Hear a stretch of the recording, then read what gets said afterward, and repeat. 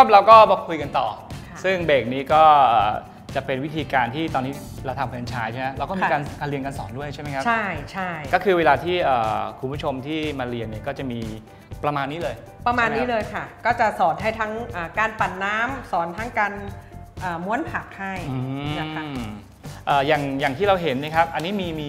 วัตถุดิบอะไรบ้างครับมีเนี่ยวัตถุดิบที่จิ๊บจะทำอะจิ๊บเริ่มจากการปั่นน้ำก่อนนะคะ ก็ครัจะบผมมีเครื่องปั่นมีน้ำเบสหรือน้ำสต๊อกนะคะแล้วเตรียมไว้ครับผม6ออนก่อนเป็นพื้นฐานครับนะคะผมอ่าแล้วก็จะมีตัวน้ำมันสลัดที่จะทำให้ข้นครับผมตัวที่จะทำให้ข้นเราจะใช้วิธีการปั่นเป็นหลักอืมอ่าเอาคร่าวๆก่อนเลยเนาะก็คืออันนี้ 6 ออนใช่ไหมหกฮะออนใช่หกออนแล้วก็ใส่เข้าไปอ่แล้วก็ใช่ไหมใส่เข้าไปเลยอ่าเออนั่นแหละเราจะทำรสมะนาวคุณเผือกใส่ไปก่อน ก็คือสงช้อนโต๊ะฮะเอาพูนพูนเป็นสูตรของเราเลย ใช่ก็คือ ใช่2 ช้อนโต๊ะอ่า ครับผม เอาพูนช้อนลดมือจัดหนักเลยค่ะ อ่านี่เหมือนแม่ค้าไม่งกอ่าสองอย่างนั้นค่ะเยี่ยมเลยเดี๋ยวนะมาคะดูแล้วว่าเราก็จะปิดฝาเลยสูตรเนี้ยมันจะทำสลัดเนี่ยได้เยอะขนาดไหนใช่ไหมคสูรัตบ รนี้จะประมาณอ่าเป็นสูตรฝึกหัดสำหรับครับมือใหม่ผมก็คือครึ่งกิโล แล้วพอเราใส่อ่า หัวเชื้อแล้วอ่าแล้วก็เราจะมะเติมนาวน้ำสมันองอ่าแล้วก็แล้วเราก็จะเติมน้ำมัน วิธีการเติมน้ำมันอย่างนี้ค่ะ เราจะกดเบอร์ 3 เป็นการเริ่มต้นก่อนอืมซึ่งเบอร์3เนี่ยจะเป็นเบอร์กลางๆฮะอ่ากดเลยกดลงไปแรงๆเลยค่ะทิมอ่านั่นแหละค่ะครับผมเห็นหลุมไหมคะฮะคุณเบือกเทลงไปในหลุมนั่นเลยค่ะเทอ๋อเส้นน้ำมันเท่าปากบิ๊กเกอร์เลยค่ะ ไม่ต้องเอ่อเส้นใหญ่มากคนเลยไหมฮะใช่ค่ะหยอดไปเลยนั่นแหละค่ะอ่าใจเย็นๆอ่าเยี่ยมเลยค่ะ อ่าเยี่ยมเลยใจเย็นๆนะคะ อ่าเบรกก่อนพอเสียงเข้าเบาแล้วนะคะ อ่าทีนี้เรามามองหลุมเลยค่ะ เราจะหยอดลงไปในหลุมค่ะอืมอ่าแล้วจิ๊บจะเตรียมกดเบอร์สี่ให้นะอ่าเร่งสปีดอ่าเบรกพอแล้วค่ะจิ๊บปิดแล้วอ่า โอเค เนี่ยเป็นเนื้อสลัดละโอ้โหนะคะ ง่ายนะคะอ่าเดี๋ยวจิ๊บจิ๊บลองตัก ก็คือจะมีนี่เลยอาจจะมีค่ะสูตรเขาจะมีเรียนเคล็ดลับอย่างนี้เลยก็คือเวลาช่วงเอ่อเราไปที่ที่เบอร์เบอร์สามเบอร์สามใช่ไหแล้วเราก็กดเบอร์เขาหมุนเนี่ยสี่แล้วเขาจะมีช่วงแกนกลางเขาจะเป็นเออเป็นหลุมใช่อยู่เป็นไหมหลุมๆเราก็เอาเอ่อน้ำมันเนี่ยน้ำมันหยอดเนี่ยลงไปในหลุมหยอดค่อยๆหยอดเข้าไปใช่หยอดเข้าไปหยอดเข้าไปหยอดเข้าไปเขาจจะนค่อยๆจับเป็นเนื้อแล้วสดสีของมอเตอร์เนี่ยมันจะเริ่มเปลี่ยนใช่ใช่พอมันเปลี่ยนปุ๊บเราเปลี่ยนเป็นเบอร์สี่ใช่ค่ะ แล้วก็ หยอดไปอีก ค่ะ เมื่อกี้อันนี้เมื่อกี้มีทั้งหมดกี่ออนซ์นะครับ 14 ออนซ์ 14 ออนซ์ ตอนนี้เราเหลือแค่อันนี้ 2 ออนซ์ เราเหลือสัก 2 3 ออนซ์อ่าเหลือสัก 4 ออนซ์เหลือ 4 ออนซ์ใช่ไหมฮะประมาณสัก 4 ออนซ์ฮะเก็บไว้ เก็บไว้ค่ะไม่ไม่จำเป็นต้องใส่หมด อืม ถ้าเขาเป็นเนื้อสลัดแล้วก็พอแล้วอืม นะคะแล้วลองลองชิมดูไหมคะลองชิมฝีมือตัวเองดูฮะ เขาจะเป็นเนื้อแบบนี้เลยอืมจะคือแบบเป็นเนื้อนวลมากเลยเอานะ เอาแอปเปิลชิมได้นะคะเอาแอปเปิลมาจิ้มชิมได้เลยลองลองชิมนิดนึง อ่า อันนี้จะเป็นฝีมือตัวเองเลยนะคะเขาจะหอมมะนาวสดๆเลยค่ะ อืมอร่อยไหมอร่อยเพราะเพราะฝีมือตัวเองหรือว่าอร่อยอร่อยเพราะว่าก็คือตัวนี้เป็นตัวที่ทางทางสูตรของคุณจิ๊บเนี่ยใช่ได้พัฒนามาแล้ว ใช่ แล้วพอมันผสมกับน้ำมะนาวแค่เติมมะแล้วนาวก็เข้าไป ใส่น้ำมันสลัดไปเนี่ย มันก็จะกลมกมัล่นอมก็จะกลมกล่อมเขาจะไม่เปรี้ยวโดดนะคะเขาจะไม่ครับผมเปรี้ยวปี๊ดแบบว่า ใช่ฮะมันมันมันจะพอดีมันละมุนมันแล้ละวมุเขานจะนุ่ม แล้วก็ใช่ส่วนผสมอย่างอื่นจะแล้วเป็ก็นใส่เข้าไป เป็นงา เป็นโยเกิร์ตเราก็ใส่เข้าไปค่ะอืมเราอยากผลิตรสไหนเราก็ใส่เข้าไปแค่นั้นเองอืมแต่ตอนที่มาอบรมจิ๊บก็จะสอนเทคนิคให้ว่า สมมุติว่าถ้าคุณต้องการผลิตรสที่เป็นเอ่อ สำหรับกลุ่มลูกค้าโดยเฉพาะเนี่ยครับผมอะจะต้องมีเทคนิคยังไงบ้างอืมอ่าอันนี้ค่ะสอนให้หมดเลยนี่อันนี้ก็เป็นค่ะเป็นเคล็ดลับที่ทำงานทำเงินได้ประสบความสำเร็จก็คือวิธีการนั่นเองใช่ไหมใช่บางคนอาจจะบอกว่าทำน้ำสลัดใครๆก็ทำได้ใช่ทำง่าย แต่ทำแล้ว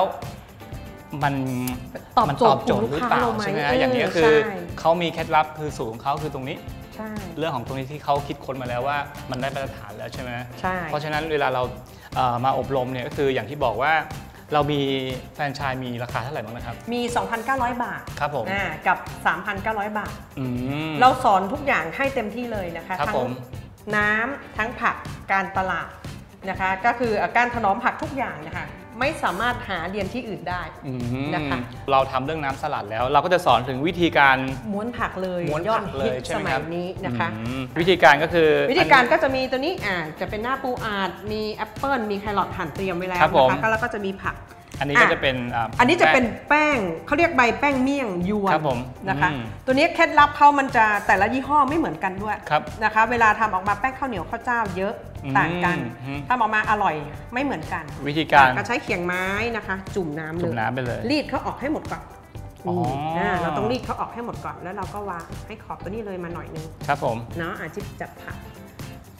ปกติเขาจะใช้ผักเปลืองมากนะคะ แต่ของฮะเราเรามีเทคนิคนะคะหุบเขาแล้วก็หักคอเขาลงอย่างนี้ อืมแล้วก็หุบผักให้หมดหักคอเขาลง ครับผม แล้วเอาตัวที่หักเนี่ยเนาะมาชนเหลืองกันไว้อย่างนี้ อ๋อเออมันก็จะช่วงช่วงปลายเนี่ยเขาก็จะโผล่มา นิดนึง โผล่มานิดนึงทำให้ดูน่าทานอะแล้วก็เดี๋ยจิ๊บก็จะใส่แครอทลงไปนี่ฮะนะคะสามสี่เส้นก็พอใช่ไหมครับอ่าอะใส่แอปเปิลไปใส่สักแท่งนึงอ่าเอาวางทับไว้โอ้อ่าอันนี้เอาปูอัดใส่ปูอัเข้าดไป ครับผมอ่าแล้วเราก็ลื้อตัวนี้มาครอบตัวนี้ให้มิดเลยอะเดี๋ยวจิ๊บจัดให้สวยก่อนอ่าพอครอบให้มิดนะคะฮะแล้วเราก็กดเข้าลงค่ะเขาจะครับแน่ผนมตรงนี้โอ้โหนะคะดูสวยเลยพอกดแล้วก็งสวยแล้วก็พลิกอย่างนี้ครับผมนะคะแล้วเราก็ม้วนกิ้งม้วนเข้าไปเลยนี่อันนี้คือ 2คำนะคะเดี๋ยวจิ๊บจะตัดให้ดูนะคะ ก็จะเป็น 2คำทันที นี่นี่ฮะทำเสร็จแล้วก็จะเป็นประมาณแบบนี้อืมติดอันนี้ต้องแตะน้ำหน่อยหนึ่งกล่อง เรามีกี่ชิ้นฮะ วางปึ้ง อ่าบางมือก็จะประมาณ 6 ชิ้น อันนี้คือเป็นกล่องราคามาตรฐานทั่วไปที่ขายนะคะหกอยู่ที่ชิ้นก็อยู่ที่ประมาณ 35 บาท ราคาขาย 35 บาท ราคาขาย 6 ชิ้นครับ 35 บาท แล้วอืมบวกกับน้ำสลัดด้วย อืมคือก็คือรวมน้ำสลัดต้นทุนแล้วด้วยเนี่ยน้อยมาก น้อยมากน้อยค่ะมากน้อยเอาจมากริงๆนะคะต้องต้องคนที่มีประสบการณ์จริงๆครับผม จิ๊บมีหน้าที่ในการลดต้นทุนช่วยอืมแฟรนไชส์ ครับผม ธรรมดานะคะ ถ้าคนทำไม่เป็นหนึ่งคำจะตกประมาณอ่า5บาท 5 บาท แต่จิ๊บทำได้บาท 50 ตังค์โอ้โหคุณผู้ชมถูกมากครับ ถูกมากนะคะหนึ่งคำนี้ครับ ต้นทุนแค่ 1 บาท50 50 ตังค์อันนี้ก็คือเท่ากับอันเนี้ยสองคำนี้ครับ 3 บาท ใช่ค่ะ แค่โอ้โห3บาทนี่แหละคุณผู้ชมอันนี้ก็เป็นอ่อีกหนึ่งธุรกิจที่สามารถทำงานทำเงินได้ดีมากๆนะถ้าเกิดว่าคุณผู้ชมเนี่ยเข้ามาเรียน อาจจะเสียต้นทุนตอนเรียนใช่ไหมค่ะแต่เทคนิคที่ได้ไปเนี่ยรับประกันเลยว่าคุณสามารถที่เอาไปต่อยอดเนี่ยได้เยอะแน่นอนนะครับเอาแล้วคุณผู้ชมครับเดี๋ยวช่วงหน้าเนี่ยเรามาดูว่าอุปสรรคของธุรกิจเนี่ยมีอะไรบ้าง แล้วก็วิธีการครับที่จะทำงานทำเงินให้คุณผู้ชมที่มาเป็นแฟรนไชส์เนี่ยได้ขนาดไหนครับ ช่วงหน้าครับติดตามครับ สนับสนุนรายการโดยผลิตภัณฑ์เสริมอาหารไอดี